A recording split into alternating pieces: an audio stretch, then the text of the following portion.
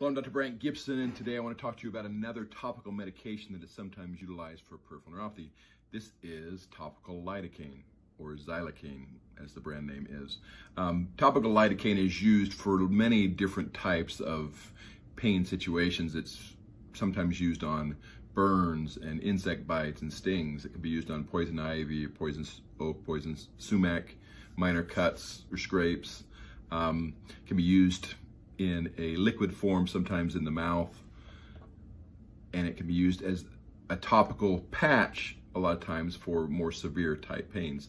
Sometimes this is utilized as well for peripheral neuropathy.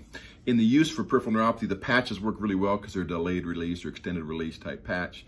And what they do is they produce the lidocaine effect or the numbing effect that comes with lidocaine.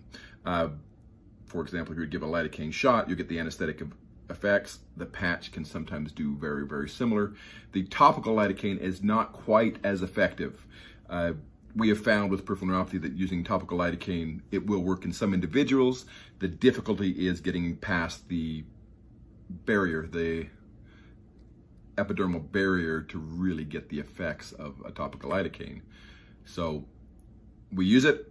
It's usually rubbed on. It's can be beneficial in some individuals the truth is you're probably getting more benefit from the massage of putting it on sometimes than you even get from the lidocaine itself just because it fails to penetrate the skin as well as you would like.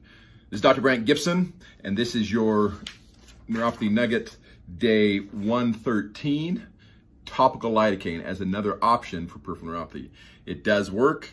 It's not super effective, although it can take some of the edge off. It can make it a little bit easier to function with peripheral neuropathy. This is Dr. Brandt Gibson. Have a great